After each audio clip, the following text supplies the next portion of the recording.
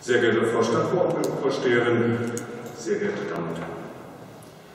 Als 2018 mit Fridays for Future eine globale Massenbewegung gegen die Zerstörung des Weltklimas und für eine menschenwürdige und ökologisch nachhaltige Zukunft auf unserem Planeten entstand, waren die ersten Reaktionen der über 50-jährigen Mehrheit verwirrt und leicht belustigt.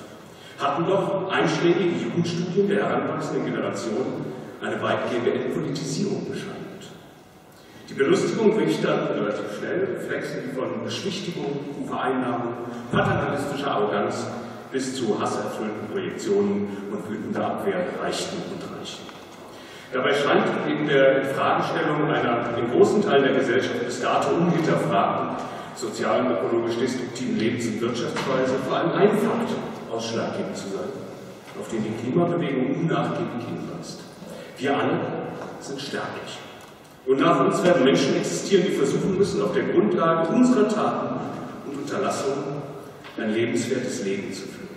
In 50 Jahren, wenn die meisten von uns in diesem Saal bereits tot sind, werden die Kinder und Jugendlichen von heute noch die Auswirkungen der Beschlüsse spüren, die auch wir hier in diesen entscheidenden Jahren treffen ob wir eine echte sozial-ökologische Verkehrs- und Energiewende, eine sozial gerechte Stadtentwicklung und Rahmenbedingungen für eine nachhaltige Zukunft hinkriegen oder nicht.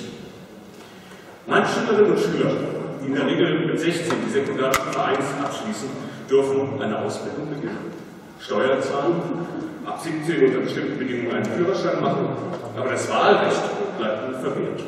Warum?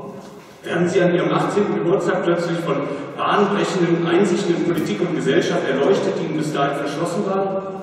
Ich glaube kaum. Die Reichsverfassung von 1871 sah noch ein reines Männerwahlrecht mit einem Mindestwahlalter von 25 Jahren vor. Bei einer zur Hälfte weiblichen und im Durchschnitt erheblich jüngeren Bevölkerung als heute bedeutet das de facto 80 Prozent der Bevölkerung vom Wahlrecht auszuschließen.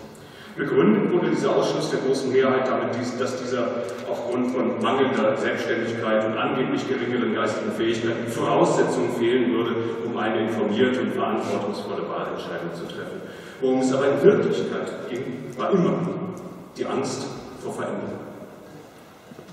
Verglichen mit den großen Ausweitungen des Kreises der Wahlberechtigten seit der Weimarer Verfassung von 1919 durch die Einführung des Frauenwahlrechts und mehrfache Absenkung des Wahlalters bedeutet die inzwischen in vielen Bundesländern beschlossene und demnächst auch wieder im Bund diskutierte Absenkung des Wahlalters auf 16 einen relativ bescheidenen Schritt. In Hessen beträfe er ca. 120.000 Menschen.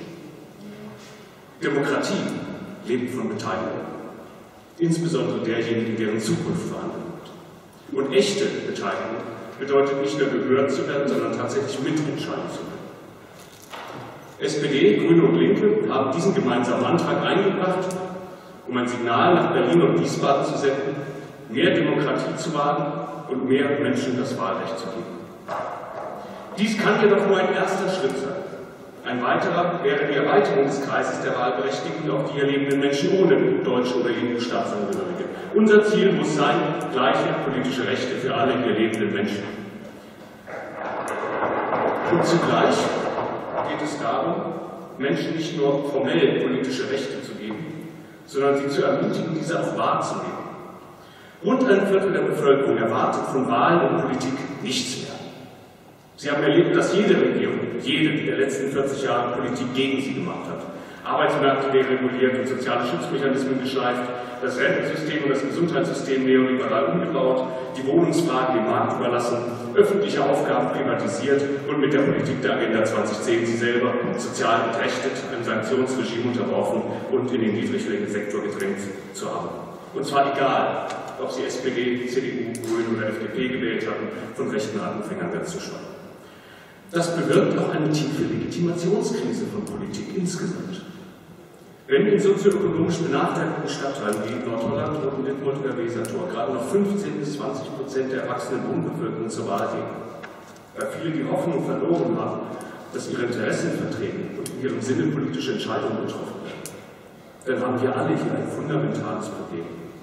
Lösen lässt es sich nur, in dem die Menschen das Selbstvertrauen wieder erlangen, dass sie durch eigenes politisches Handeln bestehende soziale Ungleichheiten bekämpfen und Gesellschaft im Kleinen wie im Großen verändern können.